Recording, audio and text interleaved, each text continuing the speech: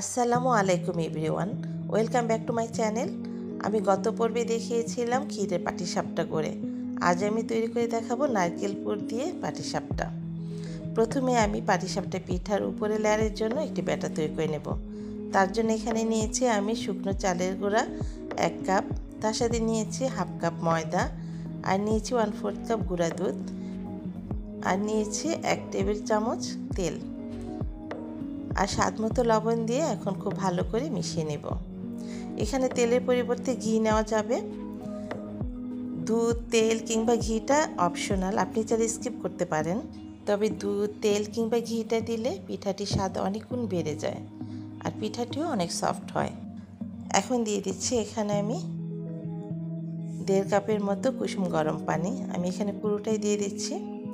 এখানে আমি এক কাপ চালের গুঁড়া আর হাফ কাপ ময়দার জন্য দেড় কাপ টোটাল আমি দেড় কাপ পানি নিয়েছি। এখন দিয়ে দিচ্ছি এখানে আমি খেজুর গুড়ের সিরাপ। খেজুর গুড়ের সিরাপের পরিবর্তে এখানে চিনি সিরাপ নেওয়া যাবে। তবে খেজুর গুড়ের সিরাপ দিয়ে তৈরি যে কোনো পিঠাই কিন্তু খেতে খুব ভালো লাগে। এখন খেজুর গুড়টা আমি একটু ভালো করে ব্যাটার সাথে মিশিয়ে নেওয়ার জন্য ব্ল্যান্ড করে নেব। ব্ল্যান্ড করার ফলে এখানে খুব অল্প সময় সুন্দর একটি ব্যাটার তৈরি হয়ে যাবে। যেটা আমার হাত দিয়ে তৈরি করতে ব্যাটারটি সময় লাগতো মিনিমাম দশ থেকে পনেরো মিনিটের মতো। আর ব্ল্যান্ড করার ফলে এখানে মাত্র আমি সাত সেকেন্ডেই দেখুন কি সুন্দর একটা স্মুথ ব্যাটার তৈরি করে ফেলেছি। ব্যাটারটি খুব ঘন হবে না, আবার পাতলাও হবে না। যদি ঘন হয়ে যায় তাহলে পিঠাটি বানানোর পর ভেঙে যাবে। আর যদি বেশ পাতলা হয়, তাহলে কিন্তু প্যান থেকে উঠানোই যাবে না, ছিঁড়ে ছিঁড়ে আসবে। এখন আমি ব্যাটারটিকে রেস্টে রেখে দিচ্ছি এক ঘণ্টার জন্য। এই সময়টাতে চলুন, তৈরি করে নিই পাটিসাপটা পিঠার ভিতরে পুরটা। তার জন্য এখানে আমি নিয়েছি এক টেবিল চামচ ঘি।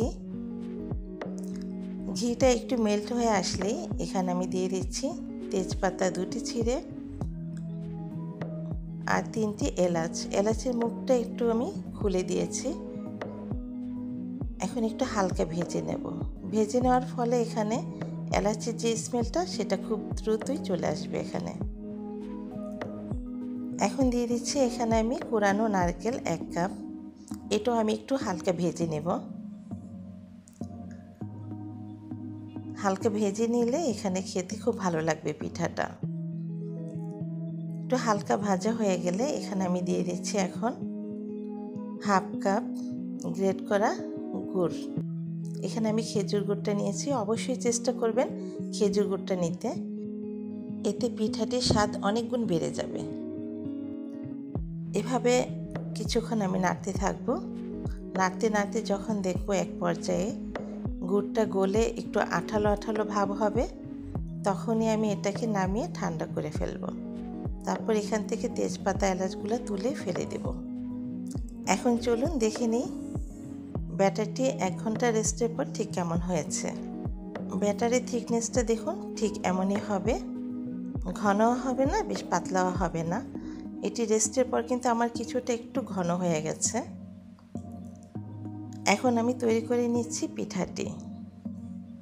তার জন্য এখানে আমি একটি প্যান নিয়েছি। চেষ্টা করবেন এমনই একটি ননস্টিকের প্যান নিতে। তারপর কিছুটা অয়েল ব্রাশ করে নেব আমি এখানে, আর চুলার ফ্লেমটা এখানে আমি লোতে রেখেছি।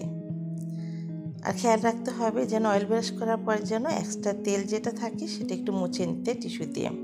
তার না হলে কিন্তু ব্যাটারটা দেওয়ার পর স্প্রেড করা যাবে না। আর প্রতিবার পিঠার ব্যাটারটা দেওয়ার আগে এখানে ব্যাটারটি খুব ভালোভাবে চামচ দিয়ে উপরে নিচ একটু মিশিয়ে নিতে হবে। আর অয়েল ব্রাশটাও করে নিতে হবে ব্যাটার দেওয়ার আগে। ব্যাটারটি এখন আমি এখানে দিয়ে সাথে সাথে স্প্রেড করে নেব। তারপর কিছুক্ষণ এভাবে রেখে দিয়ে একটু অপেক্ষা করব। যখন দেখব চারোপাশটা একটু ড্রাই হয়ে আসছে এবং একটু উঠে উঠে আসছে, তখনই এক পর্যায়ে আমি এক পাশ থেকে দিয়ে দিব নারকেলের সে পুরটা।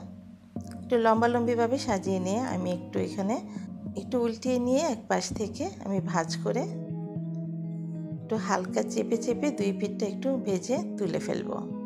প্রতিটি পিঠাই আমি এভাবে বাকিগুলো তৈরি করে নেব। প্রতিটি পাতি সাপটা আমার তৈরি করতে দেড় থেকে দুই মিনিটের মতো সময় লেগেছে। আর এক কাপ চালের গুঁড়া দিয়ে আমার দশটির মতো পাটিসাপটা পিঠা তৈরি হয়েছে। অনেকে বলে যে পাটিসাপটা পিঠাটি ঠান্ডা হলে কিংবা বাসি হলে শক্ত হয়ে যায় কিংবা ফেটে যায়। আমি তো বলব পাটিসাপটার মতো সহজ পিঠার কোনো পিঠাই হয় না। পাটিসাপটে পিঠার মূল অংশই হচ্ছে ব্যাটারটা। ব্যাটারটা যদি ঠিক মতো হয়, তাহলে দেখবেন অনেকগুলো পিঠা খুব সহজেই তৈরি করে নেওয়া যাবে। আর বাসি কিংবা ঠান্ডা হলে শক্ত হবে না এবং ভেঙেও যাবে না। আমি একদিন পর ফ্রিজ থেকে আনার পর দেখুন পিঠাটি কতটা সফট হয়েছে এবং খেতেও কিন্তু অসাধারণ লাগছে। যারা প্রথম পাটিসাপটা পিঠা তৈরি করতে যাচ্ছেন তারা যদি আমার প্রতিটি টিপস ফলো করেন, তাহলে দেখবেন ইনশাল্লাহ একটা পারফেক্ট পাটিসাপটা পিঠা তৈরি করে নিতে পারছেন। তাহলে আজকের মতো এখানে বিদায় নিচ্ছি। সবাই ভালো থাকুন, সুস্থ থাকুন। আল্লাহ হাফিজ।